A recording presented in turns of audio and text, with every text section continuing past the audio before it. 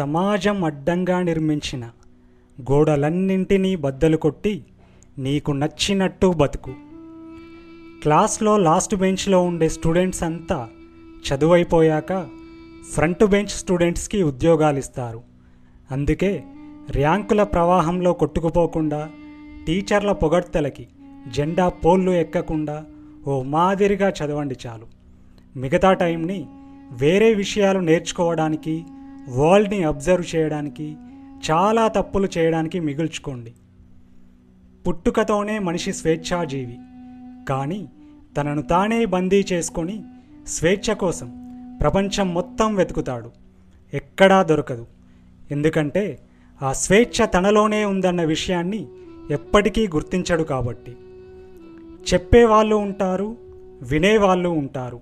ఆ వినేవాళ్ళలోనే చెప్పేవాళ్ళను విమర్శించే వాళ్ళు ఉంటారు. అలా విమర్శించే వాళ్ళు చెప్పే వాళ్ళకన్నా తామే గొప్ప అని భ్రమపడుతుంటారు.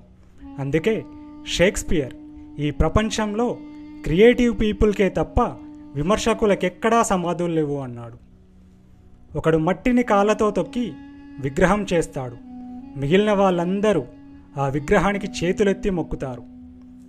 మనం దేన్నైతే ఎక్కువగా అణచడానికి ప్రయత్నిస్తామో అది రూపం మార్చుకొని మరింత ప్రమాదకరంగా మారుతుంది.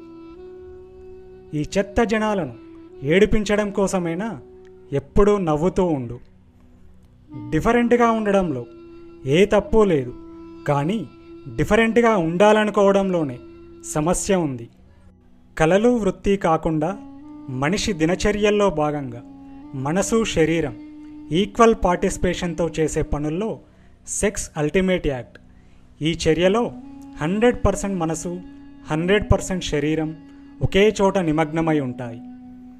ఆలోచించడం అనేది అందరికీ రాని అంతరించిపోతున్న అరుదైన కళ. శత్రువుల్ని పోగు చేసుకోవాలనుకుంటున్నావా? సింపుల్. ఈ రెండింటి గురించి మాట్లాడు చాలు. ఒకటి మతం రెండు రాజకీయాలు. నీకు ఎవ్వరూ వద్దు అనుకుంటే అది ఏకాంతం. నిన్ను అందరూ వద్దు అనుకుంటే అది ఒంటరితనం. తెలివైన శత్రువు కంటే తెలివి తక్కువ మిత్రుని వల్లే ప్రమాదం ఎక్కువ. నువ్వు ఎవ్వరినీ కలిసినా కలవకపోయినా ప్రతిరోజు ఒకరిని మాత్రం తప్పకుండా కలవగలగాలి. ఆ వ్యక్తి ఎవరో కాదు నువ్వే. నిన్ను నువ్వే కలుసుకోవాలి. పతివ్రతలు పతిత్తులు ఎవ్వరూ లేరిక్కడ.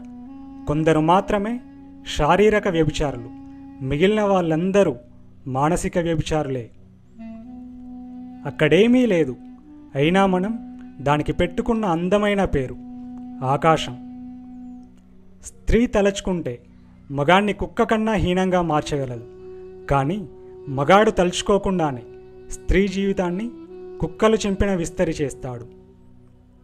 ప్రపంచం ముందు కన్నా పిల్లా ముందు ధీరుడు అనిపించుకోవాలనుకునే అల్పులు ఈ మొగుళ్ళు. ప్రేమం మలినమైనది కామం అగ్ని కన్నా స్వచ్ఛమైనది. చావు ఎంత గొప్పదంటే అది వచ్చినట్టు కూడా తెలియకుండానే తీసుకెళ్ళిపోతుంది. మిగిలిన పసుపు కుంకుమల్ని వెళ్ళేదారిలో రాయిపై పడేశాడు. తిరిగొచ్చి చూస్తే అక్కడో గుడి మొలిచింది. మగాడు స్త్రీని ఒక రాత్రికి కొనుక్కుంటే దాన్ని వ్యభిచారం అన్నారు. అదే స్త్రీ అన్ని రాత్రులకి మగాడిని కొనుక్కుంటే దాన్ని సంసారం అన్నారు. ఫిలాసఫీ అంటే నీ బట్టలు ఊడదీసి నిన్ను నీకే నగ్నంగా చూపెట్టే సత్యం. ప్రియురాలి నిశ్వాస తాకినప్పుడు మేను పులకించినట్టుగా ఉంటుంది ఇళయరాజ మెలోడీ వింటే. వీళ్ళు సెక్స్ గురించి మాట్లాడిన వాడిని అసహ్యించుకున్నంతగా వేరే ఎవరిని అసహ్యించుకోరేమో. అందుకే నేను దాని గురించే మాట్లాడాలని నిర్ణయించుకున్నా.